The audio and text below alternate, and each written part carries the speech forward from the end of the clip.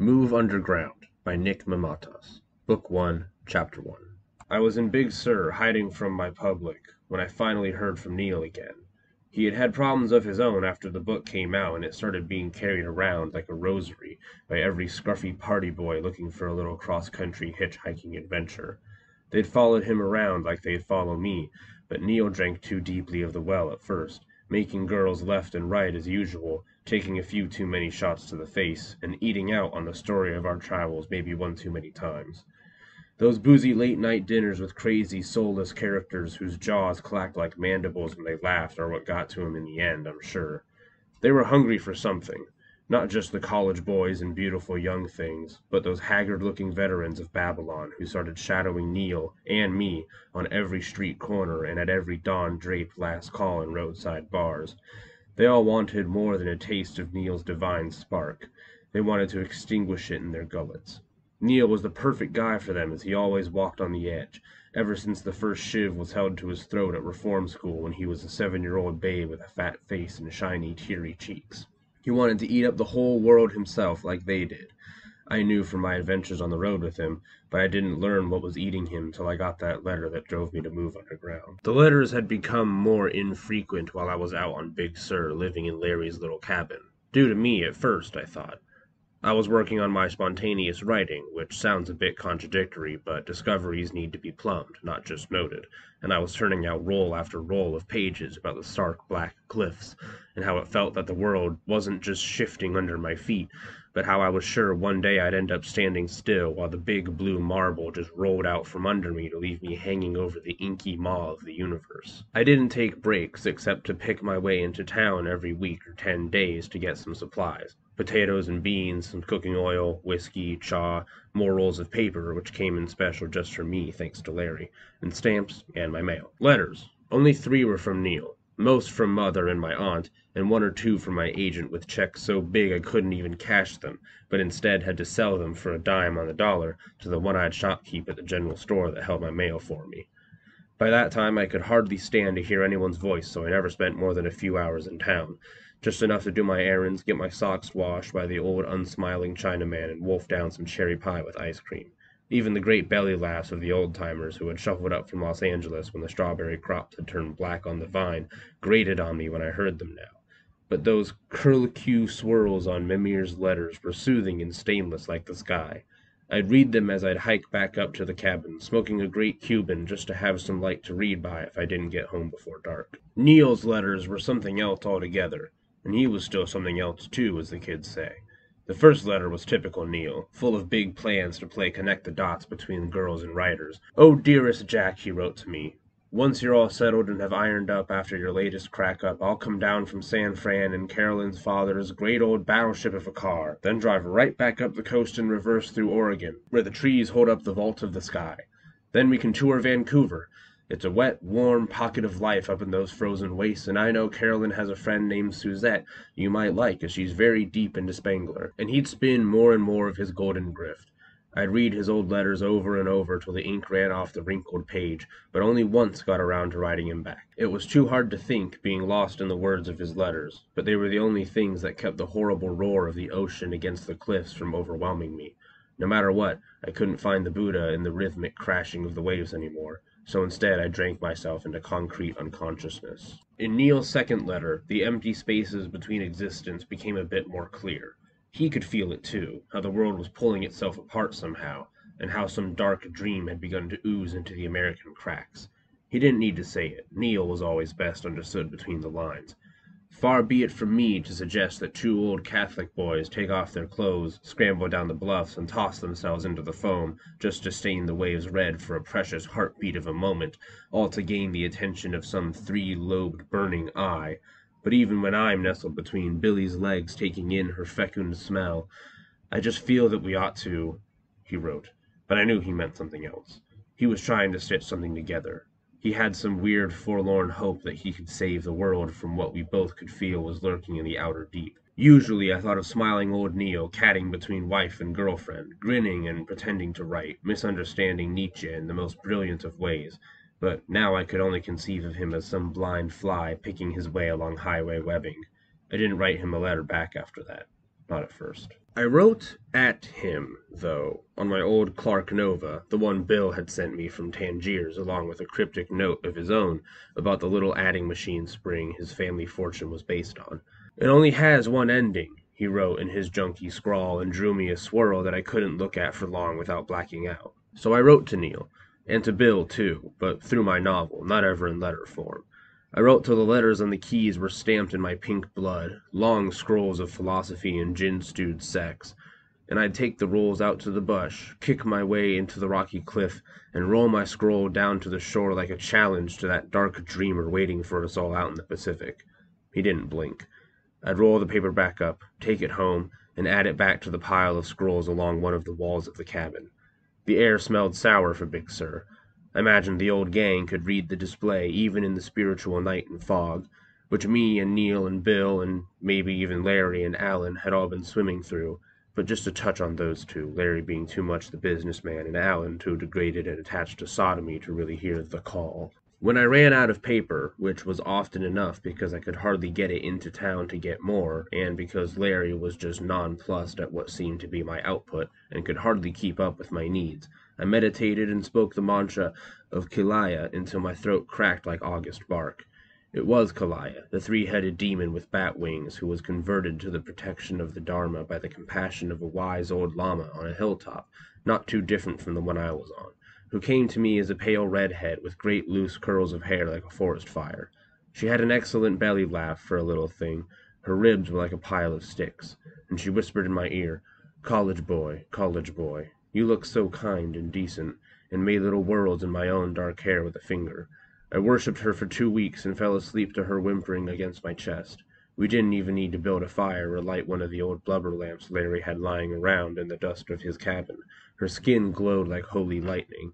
I made her three times a night, and forgot all about the wine dark waves hammering against the shattered cliff face for a few days at least. She was a humble girl, like deities should be, and humored me by frying up the salt pork and licking thick sour mash off the side of my bottle hours after I'd spilled some, and she even pretended that I was ready to go back to New York with the three hundred dollars I was saving in the crack between logs in the wall, against which I stacked all my scrolls for insulation against the wind. You could buy a car, she'd say happily, a kicky little roadster, and take the direct route back to Neal, who was probably just there waiting for me in Washington Square Park. I called her Marie. Marie smelled of sage and crushed grapes, and told me that I wasn't long for the world, but not because I'd be going anywhere. I'd have to go somewhere in order to save the world, she said. Then she'd pull me back down onto our little mattress and kiss me so hard it was like swallowing an ocean of her. It was a languid week of attachment. I couldn't so much as leave sight of the cabin for fear that Marie would be gone when I returned, even as she warned me again and again that I'd soon be on the road. It was a test of my strength, and I was failing miserably, till I ran out of liquor, and finally had to roll back into town to get supplies. Neal's third letter was waiting for me. It was a package of a roll of paper like Larry sent me, but this one was covered on both sides with writing, some typewritten, much of it scrawled in lead, pen, or blood. Much of it was smeared, but I didn't wait to read it. I hiked back up the little dirt path to the cabin on the bluff with the scroll in my hands, the paper tossed over my shoulder and unwinding in the dust I kicked up behind me. It was some brilliant stuff, a melding of past and present and dark future. Bill doing his old William Tell routine in a fit of Mexican madness. Me and him in Denver trying to throw a party. Some haiku. My haiku.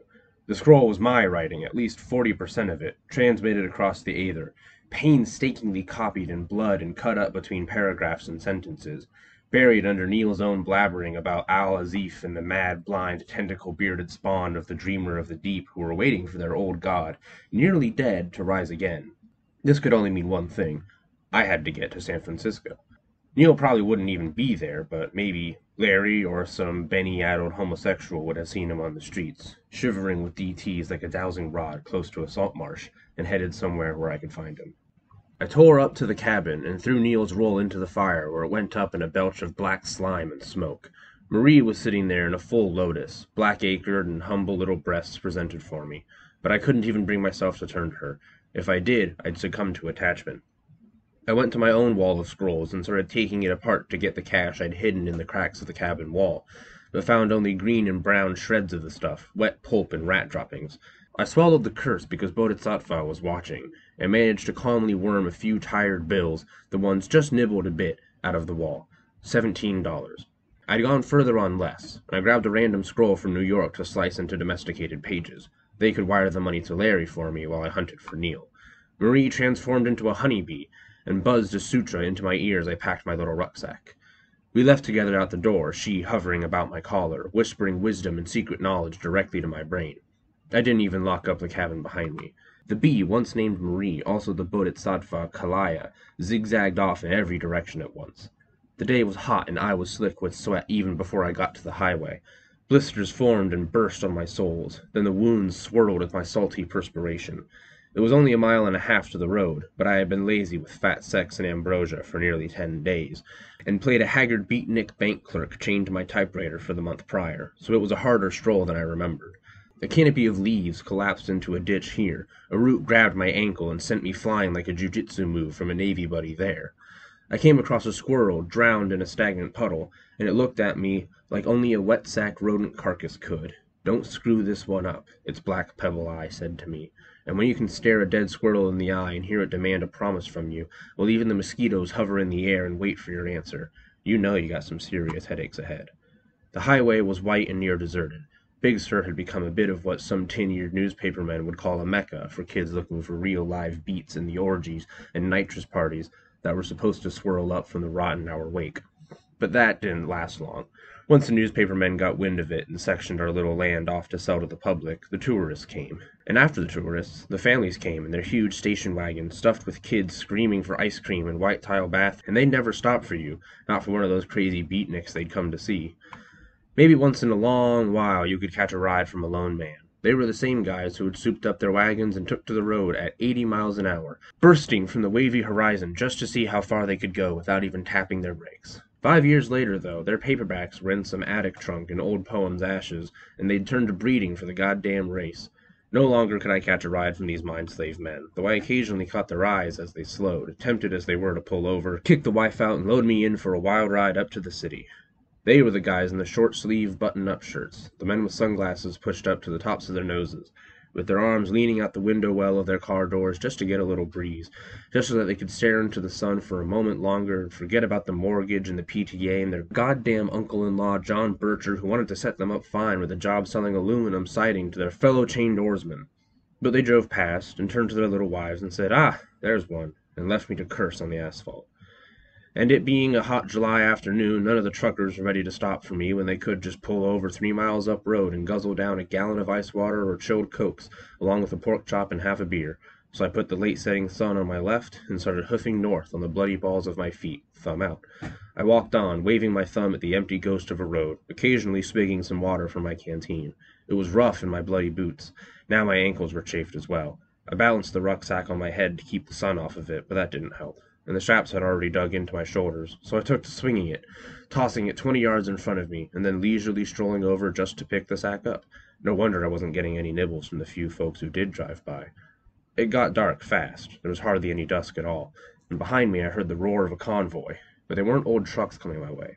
Instead, it was wagons, sedans, curvy Studebakers, and even a few old crank cars with rumble seats and shivering fabric roofs. Town cars driving five abreast in tight formation across only two lanes of highway, eating up the shoulders, headlights suddenly blazing a terrible, beautiful amber. I cut into the wood and watched them zoom past from a little ditch I happened to fall into. Above the narrow, mud-stained alley I was in, the collective purr of the motor cars choked themselves silent. There were hundreds of cars, it seemed, all stinking of fumes thick enough to cover the scent of the wet leaves I picked out of my teeth and ears. I hustled backwards, lost my rucksack, found it again, and fell hard, banging my kneecap like a cymbal. I heard a dozen doors slam behind me and limped a bit, rucksack in my arm, football style, to put some space and trees between me and whoever that horrible them was looking for me. The rim of the highway was a ribbon of gleaming off the lot paint jobs, even on the oldest cars. Men and a few women, all in their Sunday best, including two hot for summertime stoles and those insipid little flowered hats, tromped down into the brush after me, all silent but for crackling branches. Not a "Ho there!" or "Do you see him, Mildred? Do you see the man they say runs the orgies?" and not even an "Ow! I fell into a ditch!" Just eerie, inexorable marching.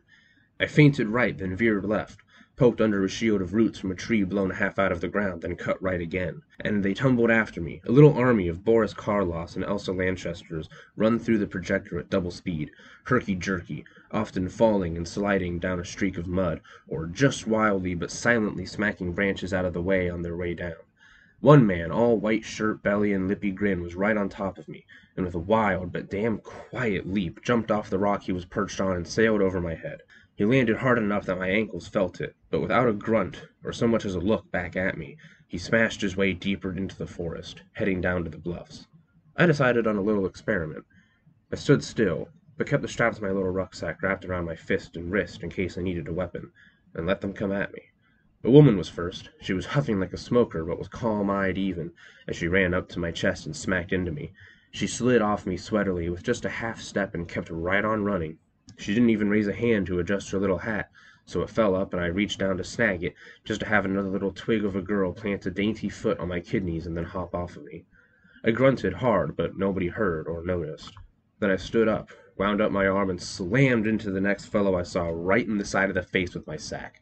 I heard the tinny tin ting of my canteen bounce off his chinny chin chin, but even this Joe didn't turn to face me.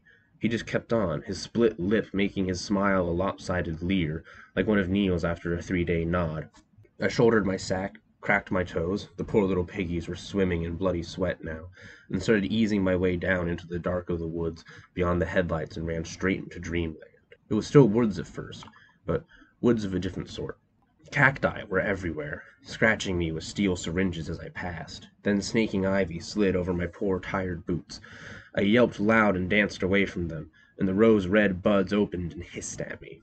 The well dressed gentry nearest my little Mr. Bojangles routine had taken to galloping along their haunches and knuckles, but a few further away from me were still holding their heads high, like it was time to tell a hotel bellboy what for.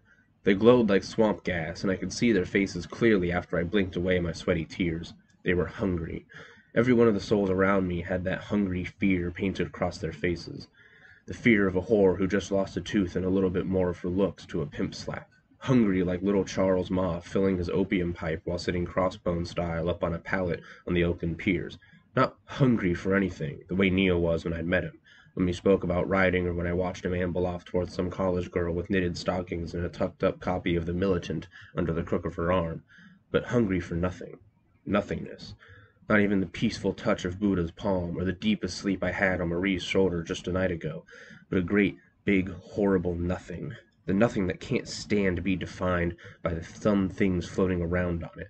Then the forest around me, queer as it already was, pulsed and twisted into something else entirely. The tree in front of me was jelly. I guess jelly, or ectoplasm, or liquid aether. A huge pillar of it, I'd say, if pillars were made up of slabs of living lard. It wobbled and touched my mind, poking through history and poetry to scoop out the thought form of lost Terry, the little Mexican girl I made for a few weeks. We had lived in a tent and waited around for her brothers to get me a job collecting manure and selling it to the local cotton farmers. But then I got the itch and headed out on the road again. And now she was there before me, nipples like brown plums, quiet eyes and little cesarean scars running up her tender belly. For a wrong moment I followed my desire, and her face exploded into a huge, gaping Venus flytrap mouth with tentacled teeth. Sweet Jesus, if my boot heel didn't pick that very serendipitous second to split and land me on my derriere, I'd have been meat that night and fertilizer today. But I fell under the snapping and squiggling mouth and kicked hard at Terry's knee. Top heavy from the snapping head, now atop a whipping stalk of a neck, she fell backward, but was replaced. A huge wall of Neal's faces, some smiling, some winking, others distracted and even bored, rolled up to me. I skittered backwards on my palms, but sweet earth betrayed me, turning warm and viscous, then collapsing into a pit. The thought forms were shambling towards me now, a mass of Neals and Memeres and my poor old brother like he would have looked had he been grown. The coach from the damn Columbia and Allen too and stupid Chad and Terry's brother Chavo and the goddamn even Marie with praying mantis limbs as long as she. They were all there surrounding me with snake bodies or flat snake faces simply plopped atop cockroach legs. Shapeshifters. The formless given form by thought or evil deed. Shoggoth. I knew the word now, somehow, but not from some half remembered bongo drum poem or off the back of a jar of Ovaltine. Marie the bee had told me on the way out the door, bless her. Stilt Marie sliced a wandering church lady in half with a swipe of scythe arm and chittered at me, but I couldn't hear her over the splattered meat smacking into what I might as well call the ground. And then I remembered the buzz in my ear from when I left the cabin and the sweet perfume of green grape and sage. The master had gathered the students into the courtyard one day and held aloft a butcher's knife. a simple and base act that alone would require a week of ritual cleansing. Worse, then, he drew his other hand from behind his back, and held up a cat by the scruff of its neck. "Stop me," Master said, "from killing this cat. Stop me from performing this base act of barbarism." The timid semicircle of saffron robed students looked up at Master in stunned silence, and with a practised move Master lopped off the cat's head. It fell to the ground like an overripe pomegranate. And it came to pass that later a student who had been out gathering alms returned to the temple, and hearing the gossip of the day, confronted his master. "And what would you have done?" the master asked. The student took off his sandals, placed them on his head, and walked backwards from the room. Master called after him, "You would have saved the cat." So when false Marie dipped her head low into the pit, and unhinged her jaw to show me her long tongue with its little face, its little scowling General Eisenhower face, I did the absurd thing and took her cheeks into my hands and rubbed my lips against her hanging horselet. I stroked her wet straw hair and whispered, "Oh, Marie, sweet, sweet Marie," and soul kissed the Shoggoth. She melted in my arms. Really. The keening rose up from among the rest of them, and the slick jelly under my feet once again turned to rocky earth. Some retreated, others gave up the ghost entirely and just imploded, sucking themselves into their own pits of dark nothing. Poor Marie sizzled and smoked around me, making my pores tingle. She was trying to gain a more physical entree, but I was safe for now. The fog that enveloped me smelled of landfill, and it felt for a long moment that I was in between. Not dreamland, not old terra firma just the waking up in the morning world of blurry shapes and voices. Then the sun pierced the fog with great holy rays. It was dawn. I was alone again, right at the edge of the bluffs. I felt the ocean on my face. It took me only a few minutes to scramble down the shore where I found the squares again. They were dead, to a man and woman.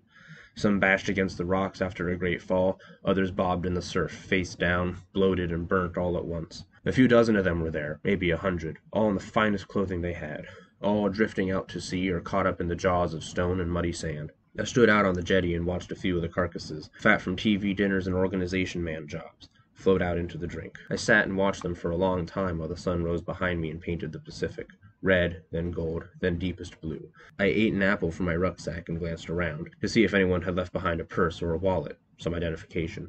I wasn't ready to make like a vulture and pick at these poor souls quite yet. Hard to notice at first, but the tide was heavier than I expected. Waves pushed up over the rocks, claiming the bodies on the shore. I had to retreat from the jetty and hustle back up the cliff. The waters rose higher than I'd ever seen them, and I looked out to the horizon to see why. The island was huge, or close, or somehow in a warp of space like a mirage. Miles out to sea, but right up against my face in the same instant. I could see the hideous swirls and cut runes on well worn granite ruins in the whole line of the shore at once. Craggy harbors, lined not with boats, but with slick lobster squid. Thick slabs of stone atop strata of crushed bone, the bed chamber of an elder god. No gulls circled its beaches, no trees lived there or even stood defiant in petrified death. Even the crumbled doorways had been built for something other than Earthmen. Between me and it there was only a short boat ride's worth of sea and a trail of white bodies drifting toward their new, dead home. R'lyeh is risen.